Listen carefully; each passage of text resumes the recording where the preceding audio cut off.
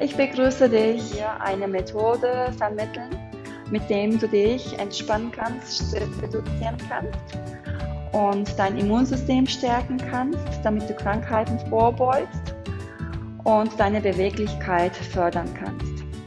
All dies kannst du erreichen mit ein paar, durch ein paar sanfte und langsame Bewegungen, wobei du auch tief ein- und tief Richtung und dann Gewicht auf das vordere Bein lagern und dabei auf die Zehenspitze.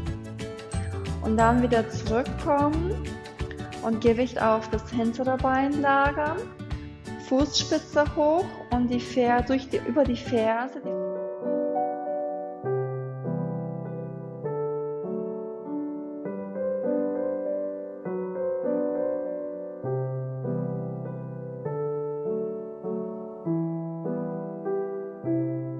Wir fangen erstmal mit den Beinen an.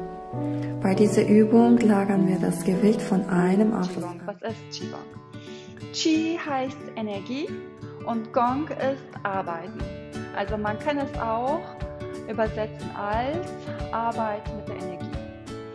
Nach traditioneller chinesischer Medizin, die Lebensenergie in uns fließt durch Energieleitbahnen. Es ist sehr vergleichbar mit wie Blut in den Adern fließt, fließt das Qi in den Strecken. Mit Ausatmen zurück zur Mitte kommen. Die Handfläche zeigt zum Himmel, Handfläche drehen und zurück zur Mitte. Und dabei etwas steigen auf die Zehenspitze und dann die, Füße, die Füße wieder fest am Boden.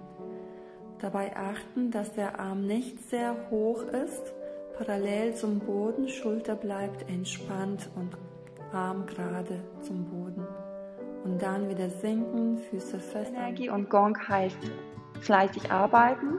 Wenn wir Qigong machen, sorgen wir dafür, dass unsere Lebensenergie für uns arbeitet und die Blockaden im Körper löst.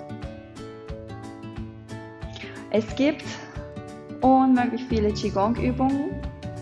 Auf diesen Plattform findest du schon eine gute Möglichkeit an unterschiedliche Qigong-Übungen. Und dazu kommt auch die Live-Kursübertragung. Die Kurse, die ich gebe, übertrage ich dir live und kannst du auch dabei mitmachen. Und Arme Arm, Arme runter und etwas steigen, Arme überkreuzen und dann spannen wir den Bogen und dabei etwas steigen. Gewicht verlagern auf das linke Bein, Oberkörper drehen. Gerade nach vorne beugen. Das Gewicht vom linken Bein auf das rechte Bein langsam lagern, dabei das Körper drehen. Aufrichten und zurück zur Mitte kommen und wieder sinken.